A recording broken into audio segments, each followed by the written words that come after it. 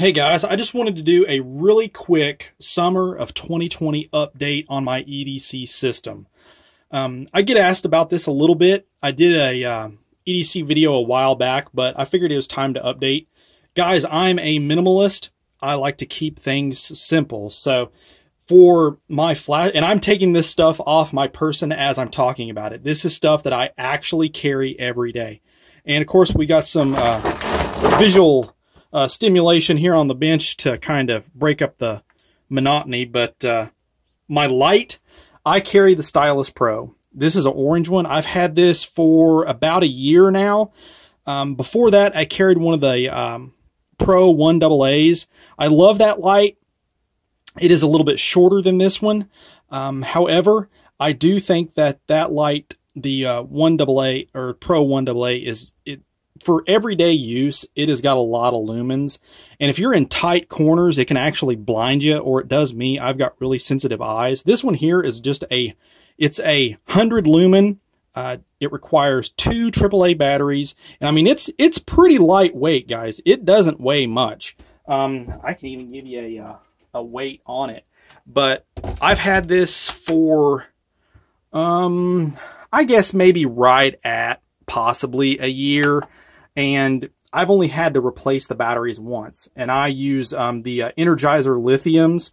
I don't know if they're any better than anything else, but they kind of make me happy when I bought them. But the uh, weight, let's get a weight here. Let's see. So 1.7 ounces, 1.8 ounces. So that's that's not bad. And I mean, I, I don't even know I have it. I carry it in my front left pocket all the way down at the um, end. I'll show you here, get a uh, visual, show you how I carry this, but I carry it just in my pocket, just like that. And that way I can still access the pocket for my keys or my phone or whatever else kind of junk I got in there. And then it's really easy to take out anytime you need it as well. So that's my that's my light. Um, now, of course, my knife, I wonder if anybody could even remotely guess which knife I carry every day. Bam! It is still the Kershaw Select Fire, guys. this, this knife here is going on two and a half years of use, and that is because my original Select Fire broke. The uh, pocket clip, if you guys remember in my review video of this knife, the screws go into this polymer. I wish they would raise the price of the knife maybe two or three dollars and put these screws into that steel insert. It would make this a lot more rigid and probably a lot, uh, lot longer lasting. You can see this one's starting to get loose now too. See that? So I can tighten these screws and snug them up a little bit, but this polymer is going to eventually strip out too. But um, about two and a half years of use and it is still going strong. This does have the uh, 8CR 13 MOV steel in the blade. I've sharp I sharpen it regularly. This is an EDC blade at its finest because I use it all the time. But the cool thing about the Select Fire, as you guys know, it has got an inboard multi-tool. Um, it's got onboard blades or bits, Phillips and standard. And you could switch these out. You could put like a, maybe a Torx 25 or something common, you know, that maybe you guys use.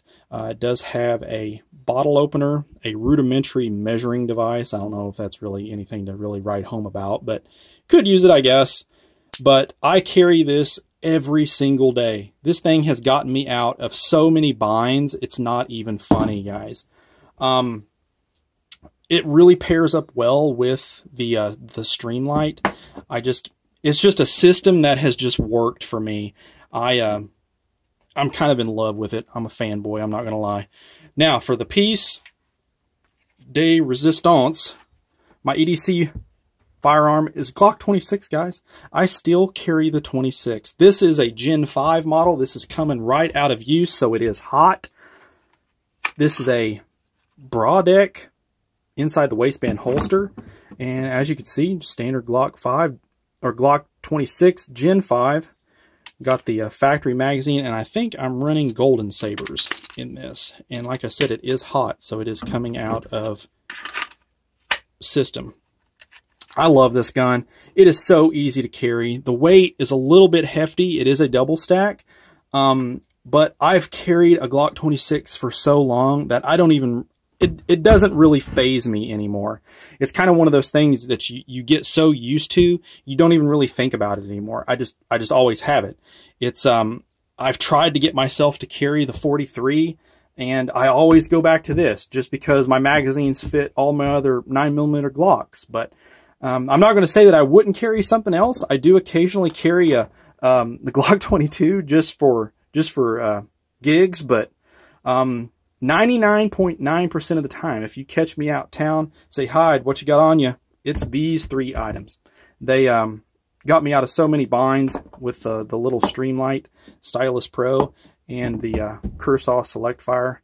Praise the Lord, I've never had to uh, deploy this in any type of EDC use other than just carry. But um, that's it. Summer 2020, guys. There is my EDC update. This is what I have on me 99.9% of the time. If you guys like this content, feel free to give me a shout below, post up in the comments, like and subscribe, share this video as it really does help. And as always, shoot straight. Later.